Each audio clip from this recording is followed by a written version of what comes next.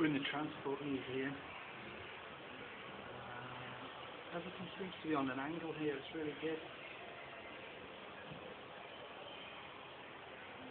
Might be something you want to add into your website.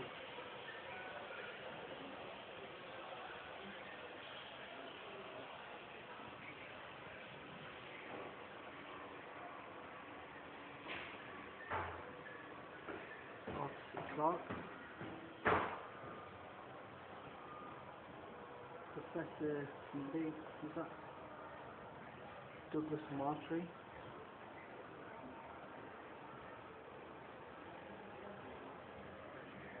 Bill Gates. All of the products become obs- obsolete, you know that one, I read his book. Sometimes they get taken by surprise. Again, Bill Gates.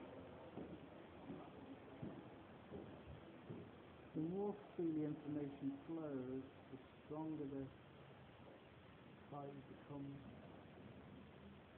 Barack Obama. If you have learned one thing from the history of invention, to do blah blah blah. C. Clarke.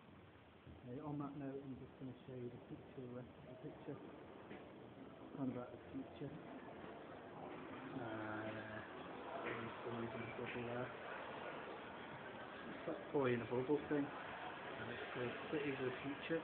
We are in the Transport Museum in Covent Garden.